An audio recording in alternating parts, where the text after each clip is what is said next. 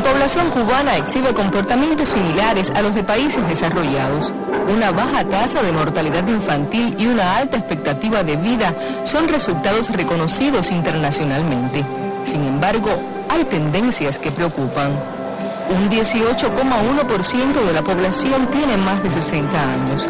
Cada vez ocurren menos nacimientos. Para tener hijos uno debe eh, buscar las condiciones necesarias, tener una vivienda adecuada, que sea una persona que ya se mantenga eh, muy individualmente ella, que sea estable, que tenga un trabajo. Porque bueno, los hijos son una responsabilidad grande. Cada uno es un individuo y quiere independizarse, hacer su vida aparte. Particularmente en mi caso por problemas de espacio. Vivienda. vivienda. El tema de la alimentación, las viandas, las carnes, eh, a veces la leche si rechaza una y quieres darle otra, los culeros. Parejas jóvenes que incluso están pensando en migrar eh, para resolver el problema económico, de decir, de mejorar a todo ello sumémosle que más del 60% de la fuerza profesional del país son mujeres y que en estas recae la mayor responsabilidad para la crianza de los pequeños. A pesar de las facilidades que el Estado le brinda a la madre antes y después del parto, hay quienes anteponen su realización laboral. Esperan terminar por lo menos especializarse para después tener la pareja. Eso hace por lo general que tengan un solo hijo. Yo lo demoré precisamente por eso, porque quería estudiar, tenía que terminar mis estudios y después me compliqué en el trabajo y ya no pienso tener más ninguno.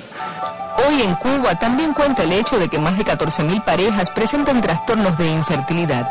El Ministerio de Salud Pública destaca entre sus causas el aborto. De las mujeres infértiles que yo tengo en este minuto registradas, y las tenemos bastante, el 60% tiene un componente de infertilidad vinculado a obstrucciones de las trompas. Y el 85% de esas mujeres tienen por antecedente uno o más abortos. Ante tal tendencia, ¿qué proponen las autoridades sanitarias del país? Hacerse el aborto necesario cuando no fue posible evitar el embarazo.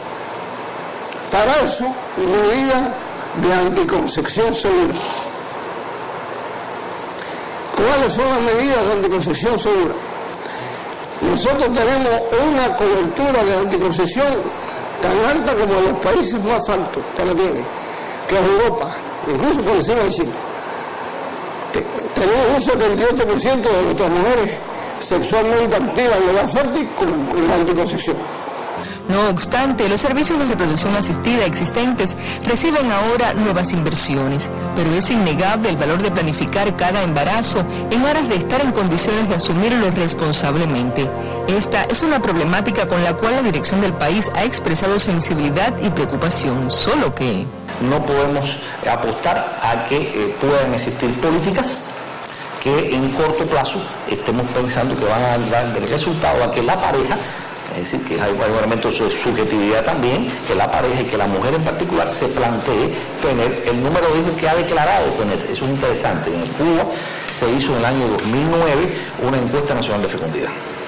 Y la encuesta arrojó que la mujer cubana y la pareja cubana tendría como expectativa tener dos o tres hijos. Sin embargo, la decisión es tener uno, cuando más. La necesidad de incrementar el número de descendientes por familia es hoy por hoy un imperativo en el ánimo de garantizar la fuerza productiva para el desarrollo futuro del país. Pero hay algo más importante que la decisión de procrear nos provoca, y es la alegría inmensa de acariciar, amar y cuidar algo tan tierno y tan nuestro como un hijo. Milenis Torres, Sistema Informativo de la Televisión Cubana.